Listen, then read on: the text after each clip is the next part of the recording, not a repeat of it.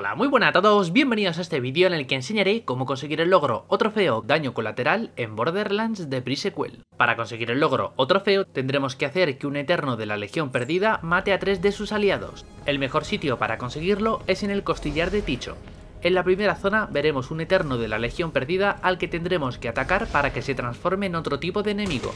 Cuando se haya transformado, atacaremos a sus amigos para quitarles vida y esperamos a que él los remate.